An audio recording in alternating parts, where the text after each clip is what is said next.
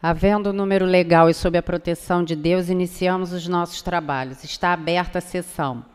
A presidência convida a nobre deputada Indy Armelau para fazer a leitura da ata da sessão anterior. A ata reflete com exatidão o ocorrido na 53ª sessão ordinária, que iniciada às 14 horas e 12 minutos, encerrou-se às 15 horas e 55 minutos. Lida e aprovada a ata, passa-se ao expediente inicial. Não havendo oradores inscritos, a presidência suspende os trabalhos para retornar às 15 horas com a sessão ordinária do dia. Uma boa tarde a todos e a todas.